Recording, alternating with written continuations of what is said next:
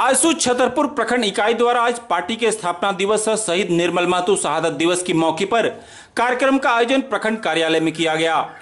कार्यक्रम में मुख्य रूप से प्रखंड अध्यक्ष अरविंद कुमार सिंह और बूथ असर के कार्यकर्ताओं ने शिरकत की, जहाँ स्वर्गीय महतो के पद चिन्हों पर चलकर पार्टी की नीति और सिद्धांतों को प्रखंड के विभिन्न पंचायतों में पहुँचाने की दिशा में ठोस पहल करने की प्रतिबद्धता व्यक्त की गई।